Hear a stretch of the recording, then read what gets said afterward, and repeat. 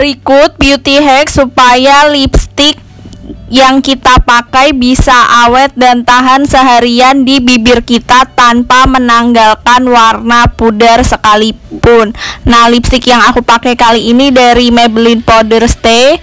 Untuk tips pertama, kalian bisa olesi atau alasin bibir terlebih dahulu dengan foundation, BB cream ataupun BB cushion sebelum ditimpa dengan lipstick ini aku pakai BB cushion dari Emina yang shade caramel seluruh permukaan bibir aku olesin atau aku tutupi menggunakan spons yang sudah aku tepuk-tepukan ke cairan BB cushion.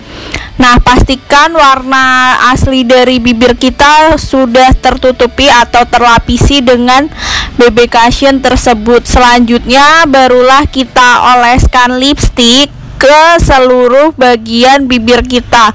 Aku jamin tips ini membuat bibir jadi lebih merona lalu warna dari si lipstick akan keluar lebih nyata sesuai dengan yang digembar-gemborkan dalam produknya. Nah, ini bisa kalian coba.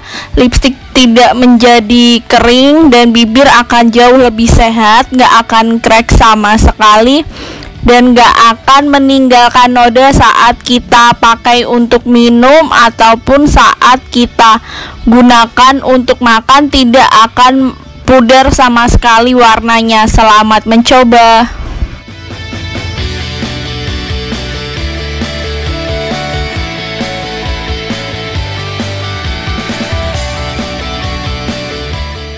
Tips yang kedua ini sama mudahnya dengan tips yang pertama yakni olesin terlebih dahulu bibir kita menggunakan lipstick lalu ambillah tisu dan lipat menjadi dua bagian tisu tersebut.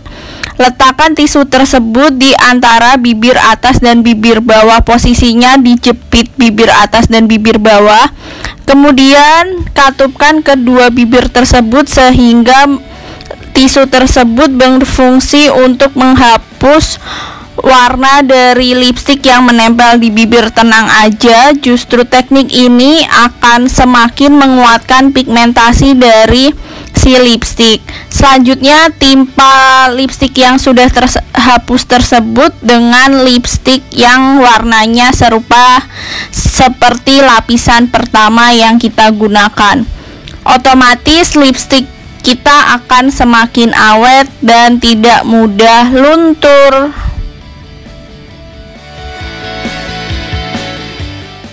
Untuk tips yang ketiga, aku juga memanfaatkan make up lain yakni bedak tabur ataupun kalian bisa pakai bedak padat.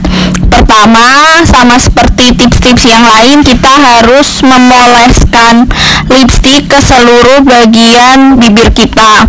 Selanjutnya, kita bisa totol-totolkan atau tepuk-tepukan bedak ke bibir kita yang sudah terpulas warna dari lipstick. Nah ini aku pakai bedak dari Purbasari kita olesi bedak atau kita baurkan bedak ke seluruh area bibir kita maka hasil dari lipstiknya akan jauh lebih matte tapi tidak menimbulkan kesan kering. Selamat mencoba tiga tips dari aku